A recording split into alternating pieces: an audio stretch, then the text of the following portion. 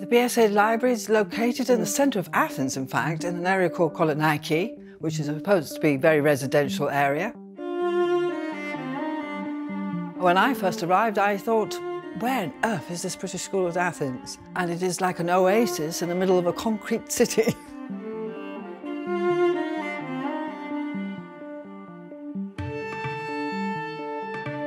The library is located at the heart of the BSA, the Penrose extension of the hostel, and in a way it is the heart of the BSA because uh, the connection of some people to the school is basically their connection to the library.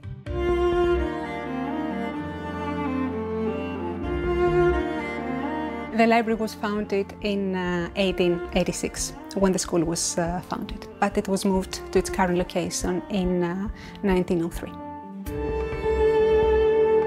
In 1899, George Finlay, the Scottish Philhellene, uh, donated his entire collection of books, pamphlets and uh, maps to the BSA. And this is how the research library began to form.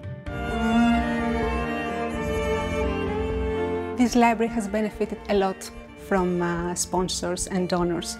It's hard to name all of them. Obviously, the first uh, big book donation came from George Finlay in 1899. The most recent big donation came from Professor Richard and Mary Clogg, Mary Jo Clogg, in uh, 2018. I cannot stress enough how grateful we are to those donors.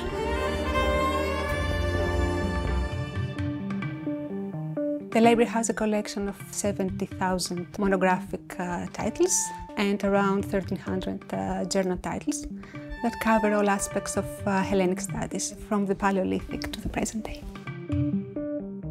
It also holds uh, a very interesting map collection with cartographic material from Greece from the 17th century to the present day, and also an aerial photograph collection with photographs taken from World War II.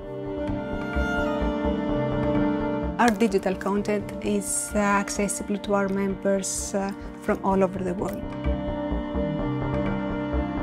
I think as a collection, I think the travellers are my favourite part because they saw a Greece that neither you or I know of today and their descriptions and their technique in recreating drawings of these beautiful monuments will remain with us forever.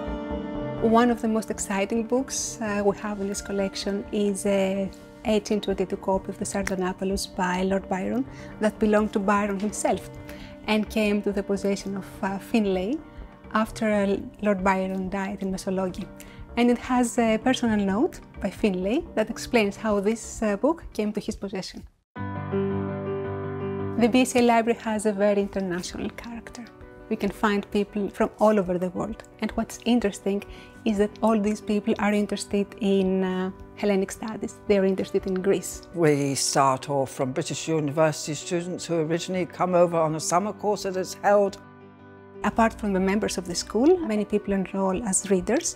These people include faculty and members of uh, universities and academic institutions in the UK, Greece, but also a lot of other countries. And then, of course, from the Archaeological Service, from the efforts, we mainly try and keep it open for everybody. When I first came here, I just had the impression that this is a place to last.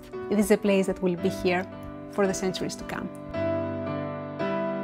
Thinking of three words to describe the BSA, I would say resourceful, determined, and eccentric.